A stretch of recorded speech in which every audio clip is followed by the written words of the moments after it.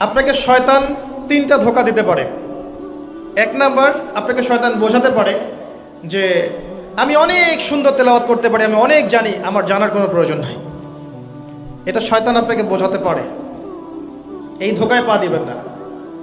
ভালোর কোনো শেষ নাই, জানার কোনো শেষ নাই। সারা জীবন তালেবে ইলম থাকতে চাই। সারাটা জীবন তালেবে ইলম ছাত্র থাকতে চাই, এটা সবচেয়ে ভালো। সারাটা জীবন শেখার মধ্যে থাকতে হবে। ভুল হবে কারেকশন করবেন, ভুল হবে কারেকশন করবেন। মানুষ যারা ভুল ধরবে, তাদেরকে শ্রদ্ধার চোখে দেখতে হবে। যে আলহামদুলিল্লাহ, ভুল ধরেছে মানে আল্লাহ চাচ্ছেন আমি যেন এটা সংশোধন করি। আর কুল্লু সার ইউ জাদুফিহিল খাইর, একটা প্রবাদ আছে প্রত্যেকটা অকল্যাণের পিছনে কোনো না কোনো কল্যাণ থাকে। যখন একটা বিষয় নিয়ে আলোচনা হবে, দেখবেন এর পিছনে কোনো না কোনো কল্যাণ আল্লাপাক দিবেন। অ্যাটলিস্ট আমি আমার জীবন থেকে প্রমাণ পেয়েছি। তো চলতে ফিরতে ভুল হবে, সংশোধন। ভুল হবে, সংশোধন। এবং যারা ধরে, ধরিয়ে দিচ্ছে মোহাম্মতের সাথে, তাদের কথাকে গুরুত্ব দিতে হবে। আর যারা বিতর্কিত করার উদ্দেশ্যে বা হিংসা হিংসাবশত, বিদ্বেষবশত বা ফ্লোকে ডাউন করার জন্য, এদের ব্যাপারটা আল্লাহর উপর ছেড়ে দিতে হবে। যখন আপনি চুপ থাকবেন, আল্লাহ আপনার পক্ষ থেকে জবাব দিবেন ইনশাআল্লাহ।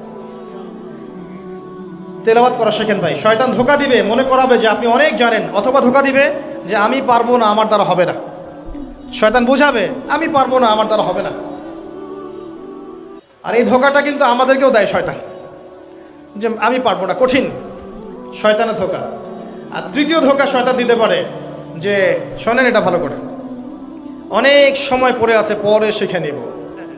এটা শয়তানের সবচেয়ে বড় ধোকা। এবং এই ধোকাটা শয়তান যুব সমাজকে বেশি দিয়ে থাকে। এত তাড়াহুড়োর কি আছে?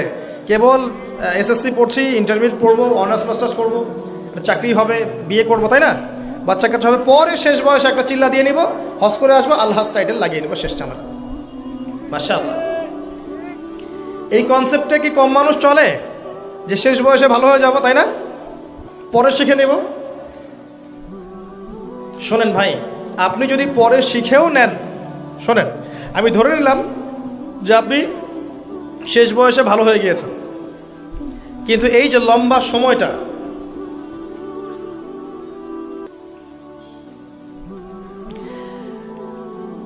এই যে লম্বা সময়টা আপনি অপচয় করলেন, আপনি ধরেন শেষ বয়সে, আপনি শেষ বয়সে মনে করেন মাশাল্লাহ ভালো হয়ে গেলেন, কোরআন তেলাওয়াত শিখেছেন, সব শিখেছেন, আমল করছেন।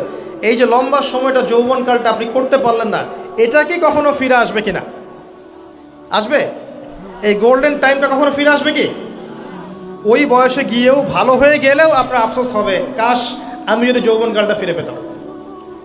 এখন আমাদের আফসোস হয় কাশ, যদি একদম ছোটবেলা থেকেই আমরা ইসলামের তরিবত পেতাম ক্লাসিক্যাল ওয়েতে পড়াশোনা করতাম, আজকে কতই না ভালো হতো। তাই আমাদের উচিত সময়কে নষ্ট না করে যৌবনকালটাকে কাজে লাগানো। এবং পরে শিখে নিব, পরে ভালো হয়ে যাব, এই কনসেপ্ট থেকে বের হয়ে আসা। আল্লাহবাক বোঝার তৌফিক দান করেন আমি